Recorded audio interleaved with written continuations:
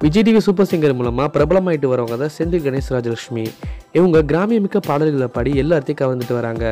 மக்கள் எல்லாருமே இவங்க ஷோவை தவறாமல் பார்க்குறாங்கன்னா இவங்க எந்த அளவுக்கு பிரபலம் அடைஞ்சிருக்காங்கன்னு பார்த்துக்கோங்க இவங்களுக்கு நிறையா சினிமா வாய்ப்பு வந்துட்டு தான் இருக்குது ஆனால் இவங்க விஜய் டிவி அக்ரிமெண்ட்டுங்கிற ஒரு சிக்கலில் மாட்டியிருக்காங்க விஜய் டிவி பர்மிஷன் இல்லாமல் இவங்க எதுவுமே பண்ண முடியாது. விஜய் டிவி பர்மிஷன் இல்லாமல் இவங்க எந்த ஒரு இன்டர்வியூவும் அட்டன் பண்ணக்கூடாது. அதே மாதிரி தான் விஜய் டிவி பர்மிஷன் இல்லாமல் எந்த ஒரு விளம்பரத்திலையும் நடிக்கக்கூடாது அப்படிங்கிற ஒரு அக்ரிமெண்ட்டில் கையெழுத்து போட்டிருக்காங்க.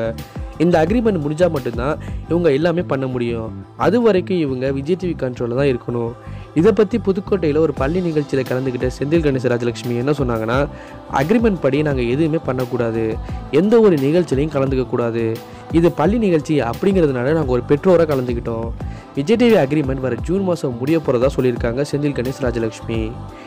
இந்த வீடியோ உங்களுக்கு பிடிச்சிருந்தா லைக் பண்ணுங்கள் ஷேர் பண்ணுங்கள் நம்ம தமிழ் த்ரீ சிக்ஸ்டி சேனலுக்கு சப்ஸ்கிரைப் பண்ணுங்கள்